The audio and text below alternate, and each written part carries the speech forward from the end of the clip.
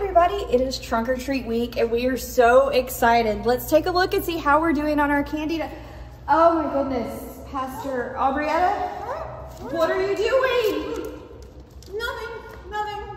Are you sure? Uh, everything's fine. Well, Go in peace. all right, folks, we may need some candy for trunk or treat. Um, it's coming up this Sunday from four to six. You can drop off candy um, anytime, anytime this week. Um, we'll still be taking donations. We can't wait to see you. Bye. I like sneakers.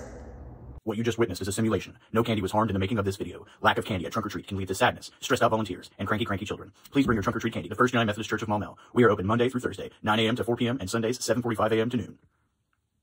Sign up for Trunk or Treat today.